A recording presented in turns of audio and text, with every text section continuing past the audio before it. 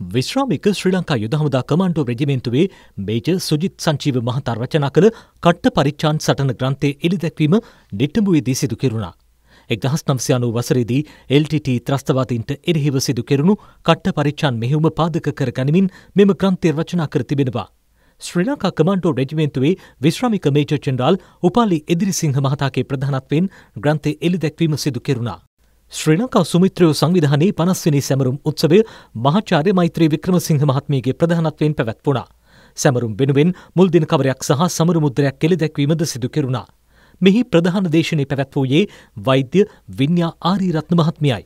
සුමිත්‍රයෝ ආයතනී සභාපතිනි සුරංජනී වික්‍රමරත්න මහත්මියගේ ප්‍රධානත්වයෙන් මෙම කටයුතු සිදු කෙරුණා.